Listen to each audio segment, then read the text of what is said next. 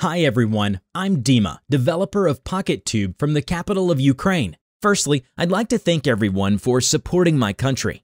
Next, I'm going to show you new subscriptions filters on PocketTube. Open subscriptions in the left sidebar. You see new filters here. At the top, you see filter by type. Let's hide any type like shorts and watched. Also, you can click the mark as watched on video. Another way is showing only specific types like watched, for example. Use the search by video and channel name. Next, you can show or hide the group's filter block. Group block allows showing content only from specific groups. You can uncheck it with one click. If you want to exclude some videos, you have to enable them. Next, click on Exclude. Play All is available here.